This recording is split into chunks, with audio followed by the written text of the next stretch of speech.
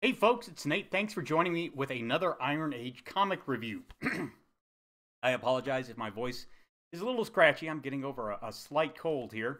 Um, and yes, we have two Iron Age comic reviews in a row because these things ebb and flow. Right now, they are flowing. Today, we are looking at, um, I guess you can call this Beauty 1 and 2 from Brendan Swan. I've already reviewed the first story in here when I reviewed his uh, his campaign for, um, I believe it was Disintegration Street Volume Two. Um, we got Strange Love as part of that package, do so as a uh, a complimentary add-on because of a few delays he had. All in all, uh, a pretty neat consideration from Mr. Swan there. Um, this book collects uh, Strange Love and Spiderwebs in a single volume for reasons that I will discuss when we get into the critique of the story. Um, but for right now, the basic review is pretty simple. Um, starting with the form factor, this is uh, this volume comes bound one's usual um, miniature book version, so this will not stand out among your other um, volumes from him. And it's got a really nice feel to it.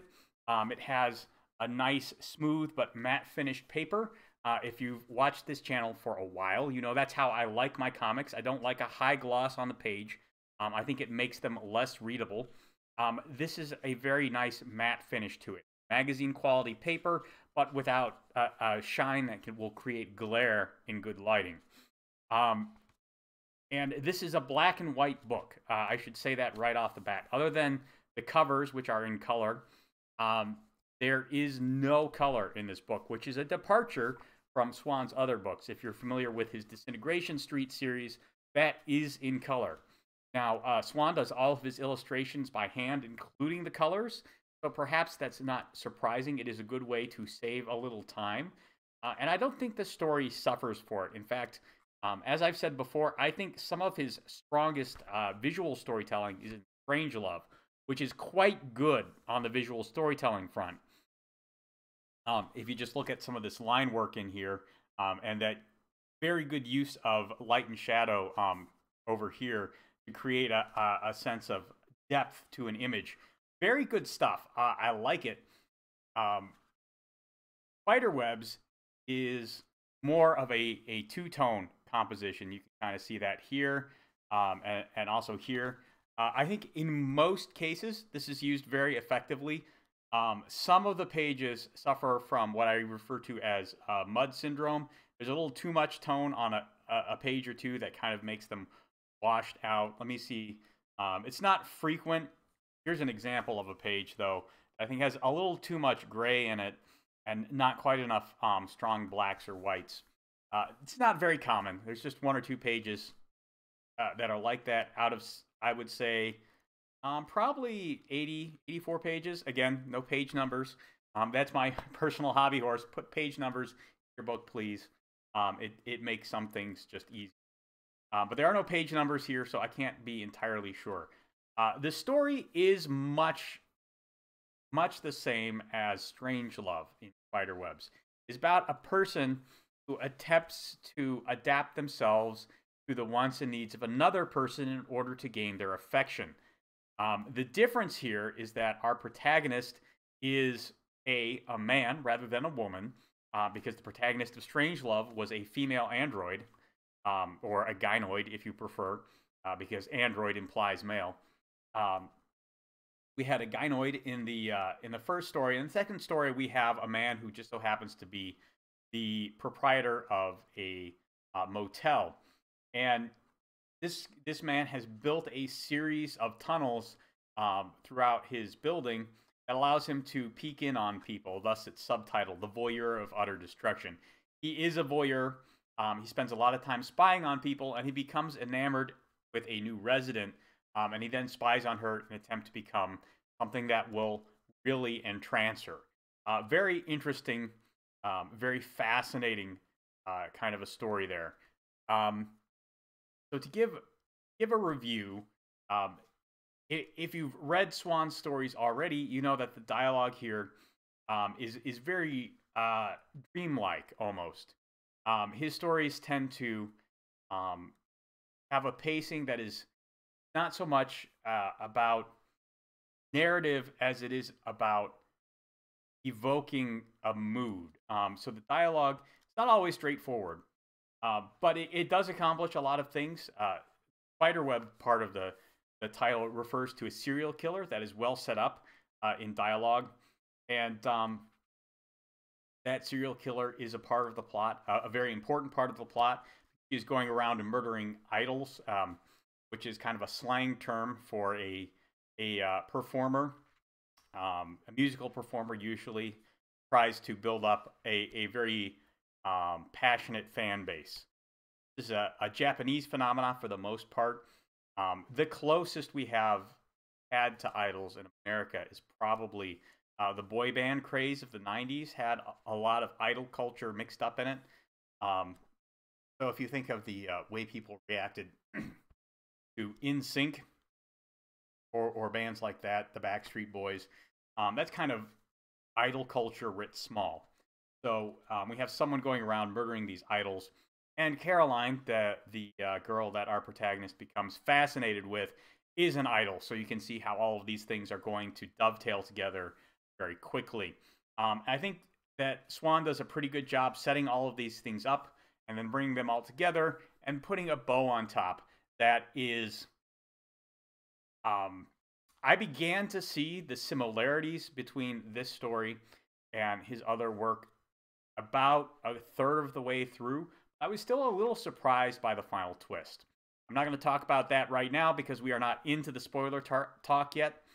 But uh, all in all, I would call Spiderwebs a a very good um, story in Swan's universe, and it is all part of the same universe. Um, of course, uh, um, Strangelove and Disintegration Street all take place in the same continuity with Spiderwebs.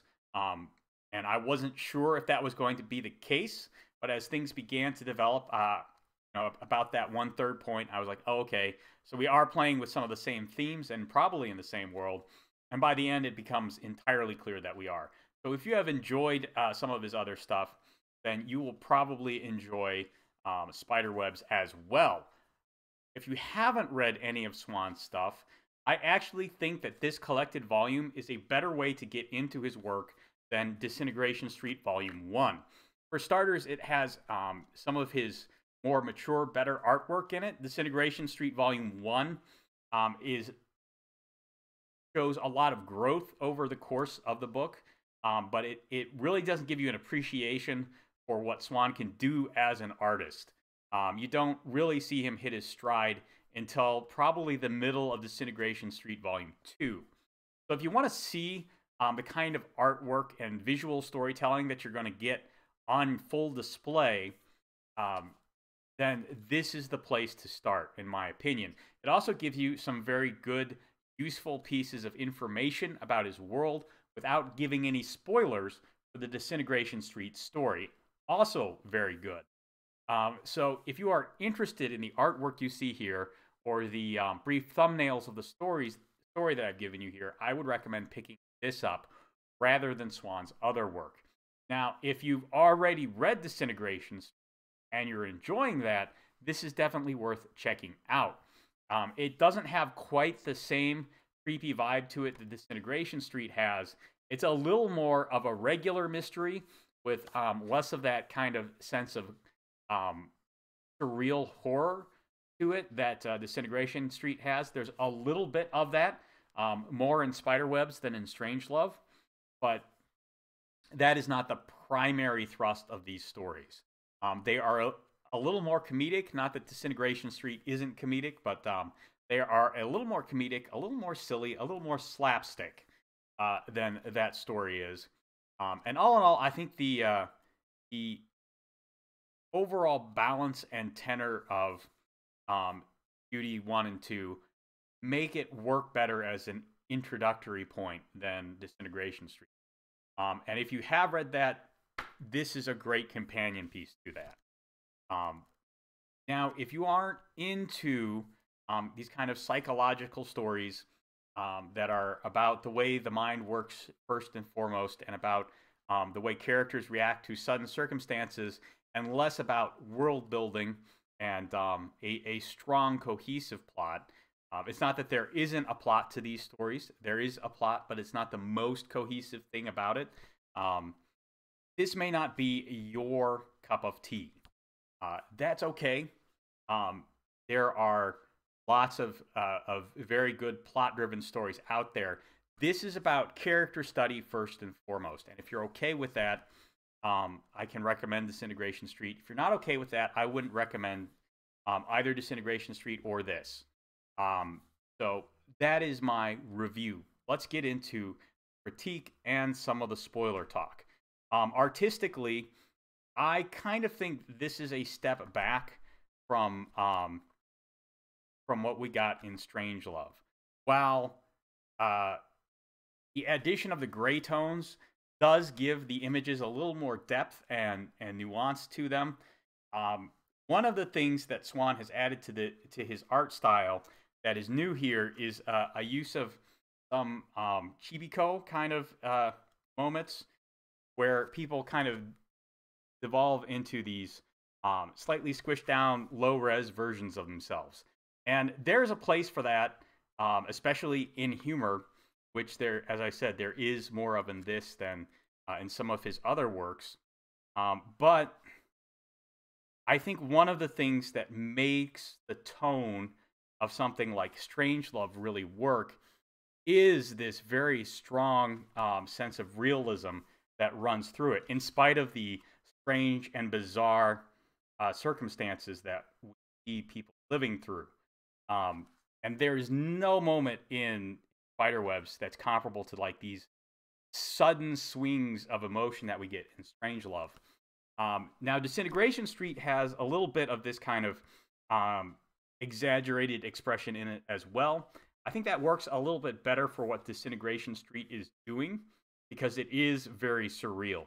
Um, but Strangelove is great because the, the surreal nature comes with the the strong, realistic illustrations um, paired with the very bizarre circumstances the characters living through. And I think, um, I think some of these uh, artistic changes take away from that.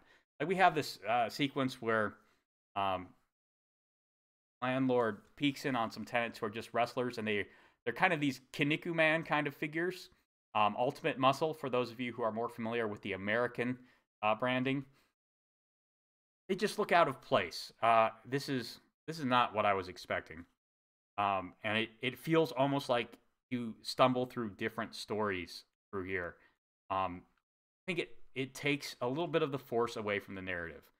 Um, I understand if Swan was looking for um, ways that would help him tell his story faster.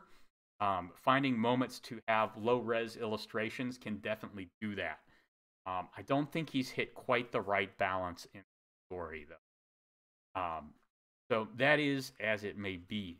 Story storytelling wise, um, I think Swan manages to handle creating that odd psychological um, suspense vibe that he's he's very good at running through even um, the the more slapstick moments of this story. The really interesting thing here, and and the aha moment for me, was the revelation that the landlord is Andy Stone, the robot builder who has been a major antagonist through all the other uh, stories in Swan's universe. We see here um, some of the events that shaped him and made him who he was. We see him build beauty number one, inspired by Caroline. Um, and we see uh, his detachment from humanity that is on display in every appearance he has in the story. Um, but we understand better through this, uh, through Spiderwebs, just because he is he is younger um, and he hasn't quite come to to peace with what he is yet, I think. Um, and he does, in large part, become who he is later in in other tales because of what happens in Spiderwebs. That's very, uh, very effective use of this kind of a prequel story, especially since we don't know this is Andy until the end. Um, if we had known that earlier on, we probably would have suspected that um, he was going to survive. As it is, I didn't. I kind of expected him uh, to to die along the way. But since he's Andy Stone, since he has to go on and continue building more of these robots, well, he can't quite. Um, I also like the fact that Beauty number one is introduced in the second story, and Beauty number two in the first story. That's a that's a clever bit of a parallel construction that I hadn't. I caught me almost entirely by surprise. Um, so good stuff here. Um, I think that on the whole, um, it is exciting to see Swan iterate and work on um, how he's going to illustrate and tell his stories quickly and effectively. I think he he I think he was closer with Strangelove to something that I personally like um, than he was with Spiderwebs, and I hope to see um, more of Strange Love in future installments. Um, but that, that's just to taste. And if he can't put out stories as quickly, that kind of illustration style, I understand why he would choose to kind of shelve it, at least for the time being. But those are my thoughts on Spiderwebs and the campaign, and uh, it's it's good stuff if you enjoy Swan's kind of storytelling. And I will admit that is probably a narrower segment of comic readers than something like the Rippaverse, which I reviewed previously. Um, but if this is your jam, I think you'll enjoy this. So let me know what you think down in the comments below. There's a like button and a subscribe button down there. You can use those as you see fit, and I'll talk to you later.